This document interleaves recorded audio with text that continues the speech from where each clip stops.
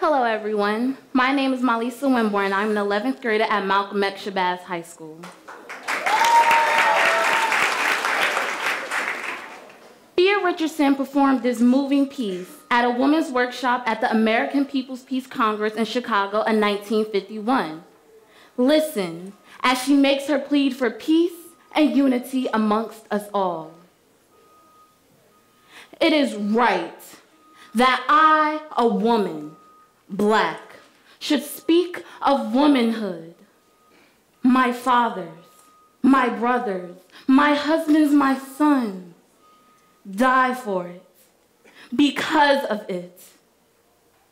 Their blood, chilled by electric chairs, stopped by hangman's noose, cooked by lynch mob's fire. I would that I could speak of other womanhood, and that it will and should stand tall in full equality, but womanhood shall be womanhood, void of color and of class. And thus my necessity for speaking here shall surely pass, gladly pass. But now, since it is deemed a thing apart supreme, I will honestly report how it seems to me. We are women all.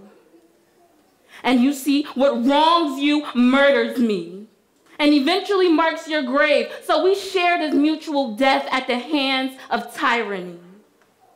My aim is full equality.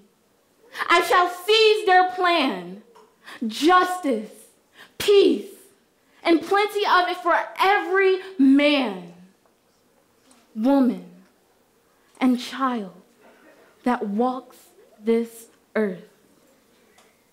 This is my fight.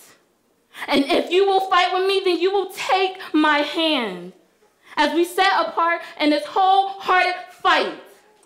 Peace in a world where there is equality.